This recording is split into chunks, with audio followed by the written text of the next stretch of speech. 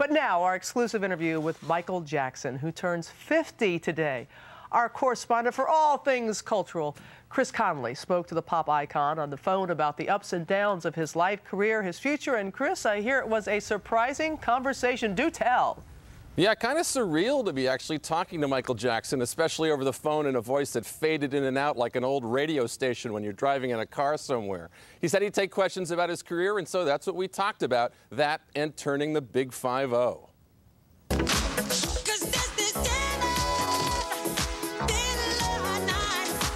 Still one of the biggest stars in the world and one of the most private.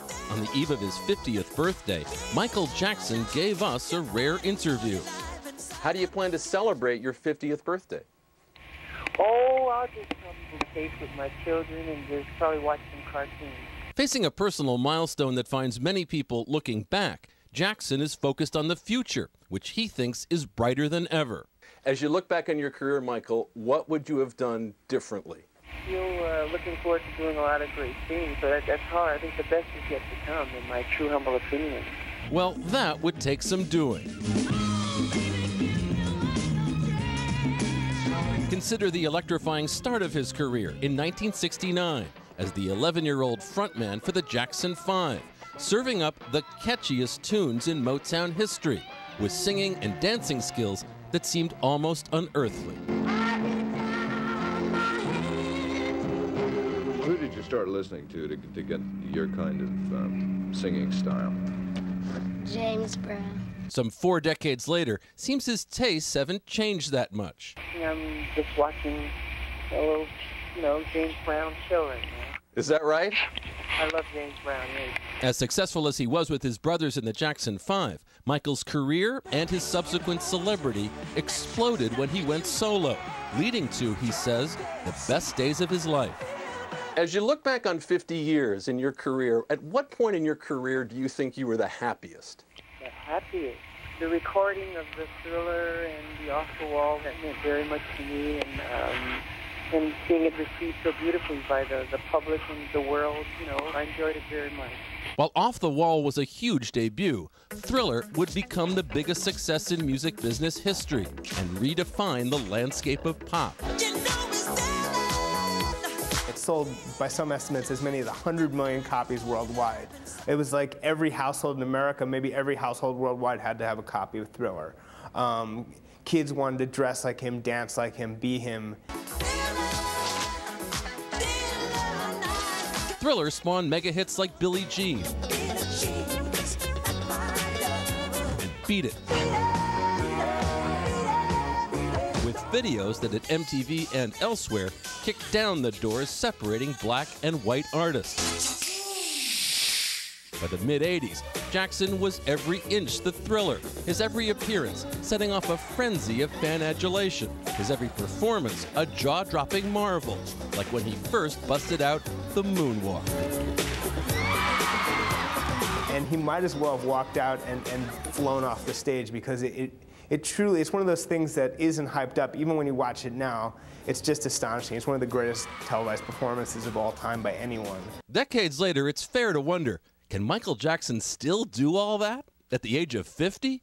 Oh, yes, he can, he says. Yes, because I'm, I'm, I'm expanding a lot of the avenues. People people see some of the things I do, and they, and they say, why don't you show this to the world? People don't know you do these things, and maybe I will.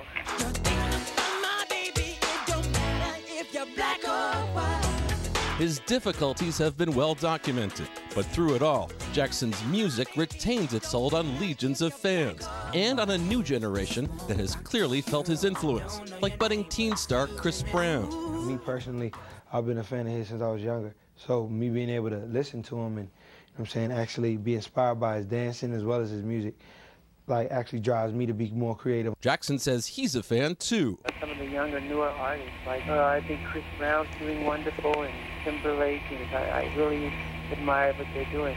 Is there anything you sacrificed by having this amazing career, 40 years and counting? A lot, a lot of hard work, sacrificing your time and your schedule and your childhood. You know, it's uh, giving up your life for the medium. Jackson says he wants to give his kids the kind of childhood he never had.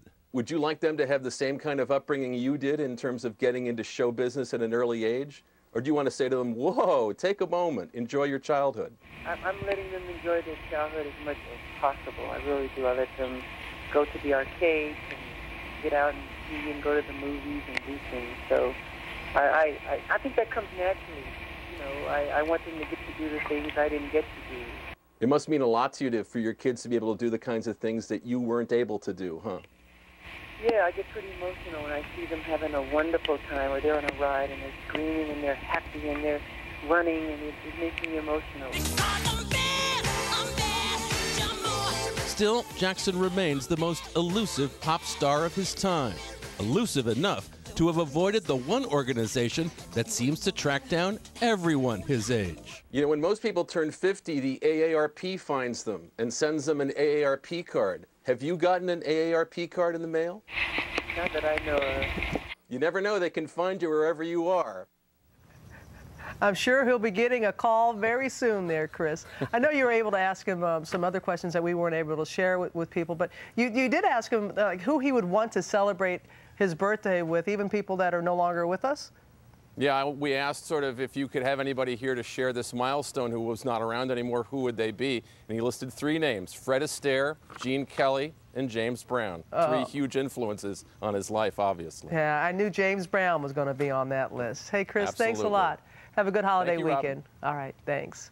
For more on uh, uh, Chris's interview with Michael Jackson, you can go to our website at abcnews.com.